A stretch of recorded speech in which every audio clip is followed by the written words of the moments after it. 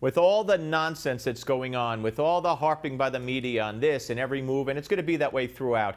Nonetheless, in the month of March, consumer confidence was the highest it's been since 2000.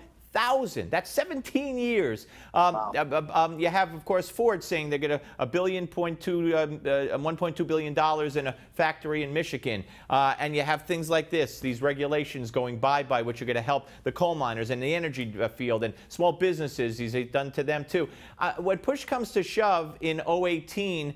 Um, you think that this is what people's going to look at? Uh, people are going to look at what what the economy is now doing under Donald Trump and the Republicans, or are they going to harp on what the media is harping on?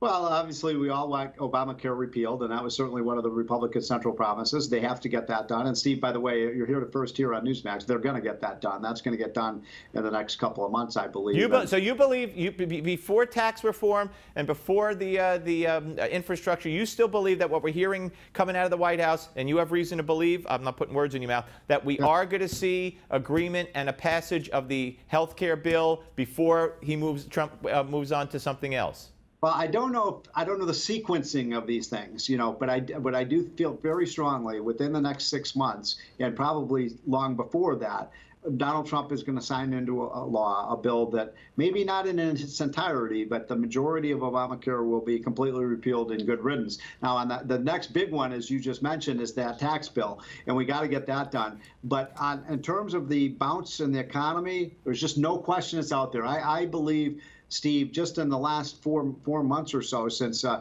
Trump was elected, the U.S. economy was which was growing at one and a half percent under uh, uh, Obama for the last year is now growing at uh, close to two and a half percent. So we've seen about a one percentage point increase, and Trump hasn't even done that much yet. So just wait till these reforms on Obamacare and the tax cuts and these new coal regulations take effect. I, I said it on your show many times. I'll say it again. I think we can get to four percent growth, and I think that's sustainable with these right with these right-minded policies. Let me let me play good reporter and ask you just one more question on that.